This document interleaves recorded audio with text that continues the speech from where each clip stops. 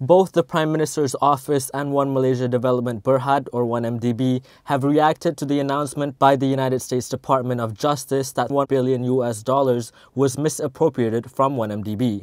The Prime Minister's press secretary, Datuk Sri Tunku Sariffuddin Tengku Ahmad, said the government would fully cooperate with any lawful investigation of Malaysian companies or citizens in accordance to international protocol.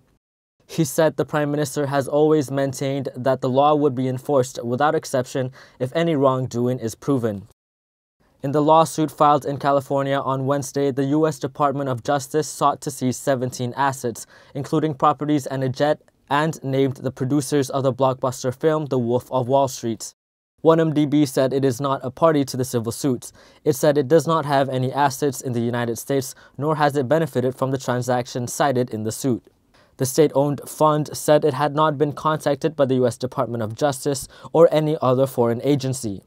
Meanwhile, Communications and Multimedia Minister Datuk Sri Dr. Salleh Said Keruak said the U.S. Department of Justice is investigating three individuals.